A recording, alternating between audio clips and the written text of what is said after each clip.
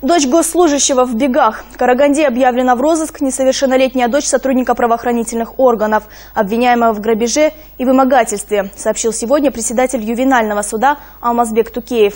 Согласно материалам дела, жертвами несовершеннолетних преступниц стали их сверстницы. В суде рассказывают, что они вызвали на квартиру двух девочек, вымогали у них деньги, отобрали дорогостоящие сотовые телефоны, затем, угрожая физической расправой, потребовали 100 тысяч тенге.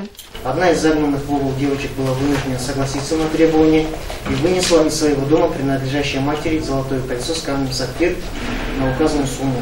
В дальнейшем те же лица ограбили эту несовершеннолетнюю еще дважды, похитив сотовый телефон, сумку, кошелек, денежные средства, а также нанесли ей телесные повреждения.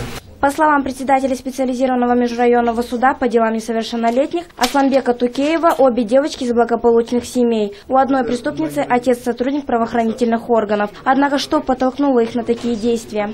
А в любом случае причина э, проста. Родители не уделяют достаточно внимания своим детям.